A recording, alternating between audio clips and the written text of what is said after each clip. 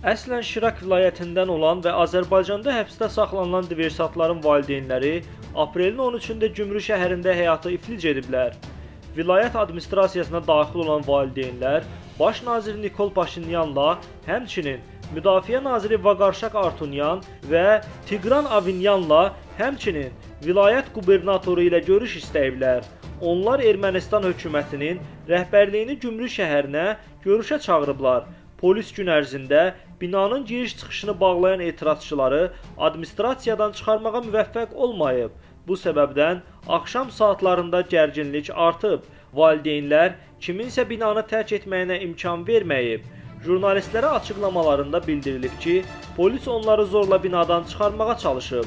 Vilayət rəhbərliyinin iş gününün sonunda binanı tərk etmək istəməsi isə etirazçıları coşdurub. Bu zaman baş verən toqquşma zamanı qapılardan birinin şüşəsi qırılıb. Digər təfsilatlar haqqında məlumat verilmir. Hadi